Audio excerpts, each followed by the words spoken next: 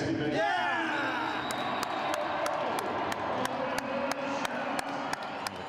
Take me through the indoor uh, game. What's that like? Well, I mean, you know, it's very physical. Uh, it's very competitive, intense. Uh, you know, you're in a closed, confined area, just like just like hockey. Um, you know, big hits. You know, the goals are a lot smaller. You're playing on a six by six goal in field lacrosse as opposed to a four by four nine goal in indoor. So obviously, it's tight quarters.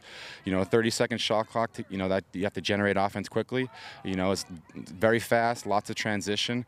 Uh, you know, defenses are very physical, fighting. I mean, it's just you know anybody who hasn't seen indoor lacrosse, if they've seen an NHL game, picture that on feet. What would surprise the average person about lacrosse? What can you tell me?